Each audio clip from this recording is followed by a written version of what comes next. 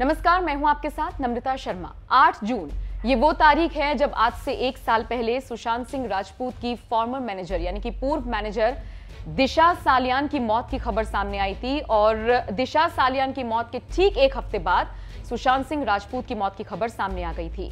बीती रात से ही दिशा सालियान आ, सोशल मीडिया प्लेटफॉर्म ट्विटर पर ट्रेंड कर रही हैं और हैशटैग क्या दिशा सालियान ने एकता कपूर की कोई पार्टी अटेंड की थी इस तरह का?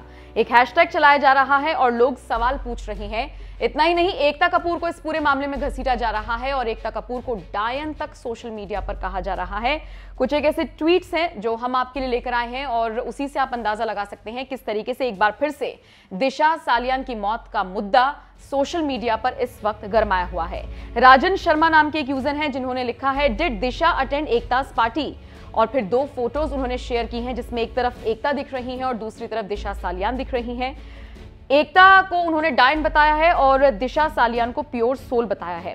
प्रियंका नाम की एक यूज़र ने लिखा है if the sources are to be believed well connected people attended the so called party at which Disha was present फिर इस यूज़र ने यह भी सवाल उठाया है कि रोहन राय कहाँ है? रोहन राय आप जानते ही होंगे दिशा सालियान के मंगेतर के तौर पर इनका नाम सामने आया था लेकिन पूरी जाँच से ये रोहन राय नाम का शख्स दूर रहा। इनको ना ही मीडिया में आते हुए देखा गया और ना ही इनके बयान के तौर पर क्या कुछ सामने आया। आ, आ, ये पता चला। ये भी बता दें कि आ, रोहन रॉय राय को लेकर खबर ही आई थी कि वो भी उस वक्त पार्टी में मौजूद थे जिस पार्टी के बाद दिशा सालियान की मौत हुई थी।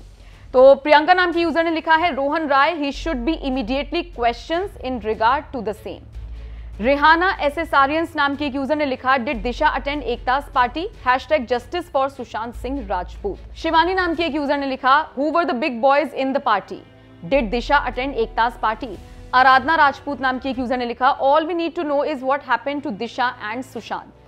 तो इस तरह से लोग लिख रहे हैं और सवाल उठा रहे हैं।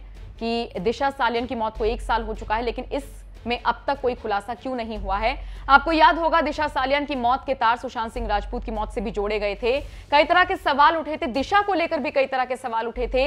ये तक कहा जाने लगा था कि पार्टी में उस रात उनके साथ कुछ गलत हुआ था, जिसके बाद दिशा के पेरेंट्स ने आगे आकर बाकायदा एक लिखित शिकायत दी थी और कहा था कि जो कुछ भी हुआ वो उसे एक हादसा ही मानते हैं और इसमें किसी का हाथ नहीं मानते हैं। फिर ये भी खबरें आई कि दिशा सालियान के पेरेंट्स पर दबाव बना, बनाया जा रहा है, लेकिन, कुल मिलाकर सौ बात की एक बात कि दिशा सालियान का केस नहीं सुलझा है और दूसरी तरफ़ सुशांत सिंह राजपूत ने भी आत्महत्या की या उनको मारा गया, इसको लेकर फ़िलहाल जाँच चल रही है। आप बताइए इस पूरी खबर पर आप क्या कहते हैं?